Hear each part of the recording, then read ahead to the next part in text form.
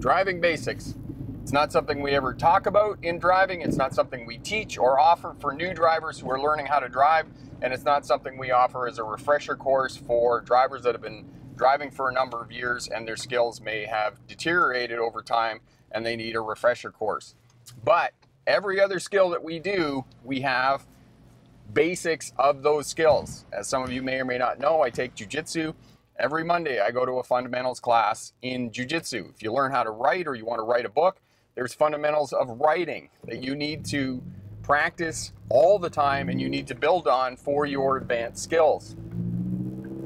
The fundamentals of driving, when you start learning how to drive, get into a parking lot, work with pylons, and figure out where your vehicle is in space and place, where it is in relation to other vehicles on the roadway and other road users.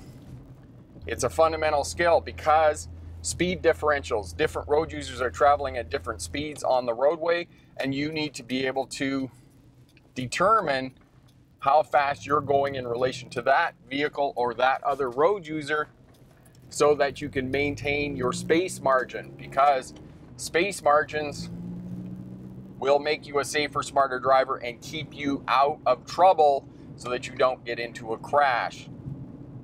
You always want to stop so you can see the tires of the vehicle in front making clear contact with the pavement. That's approximately one vehicle length of space.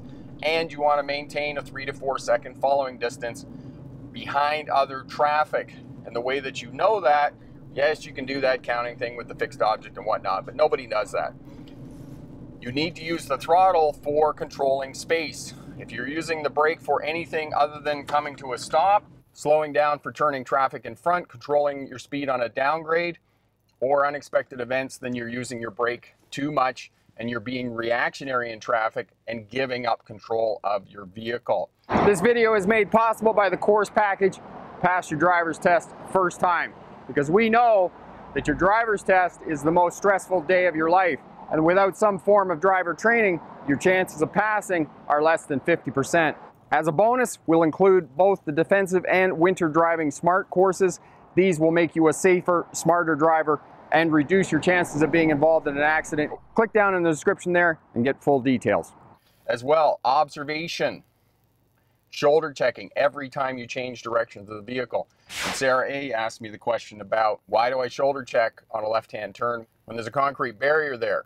The reason is, is because of consistency. You want to be consistent in your basic observation skills so that these become habits and you don't have to think about it and you're going to be a safer, smarter driver because even when you get tired or make mistakes, you're still going to have these observation skills in place and do your shoulder checks.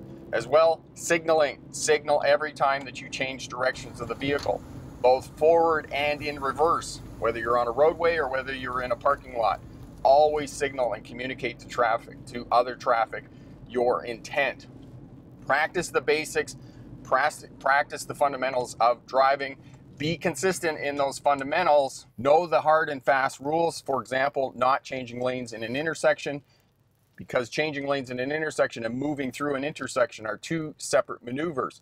40% of crashes happen at intersections, so you want to reduce the chances of being involved in a crash at this high risk area along the roadway. Practice the fundamentals, know what the fundamentals are, and be consistent with your fundamentals to both pass your driver's test and be a safer, smarter driver. And remember, pick the best answer, not necessarily the right answer. Have a great day. Bye now. Hang on there one sec.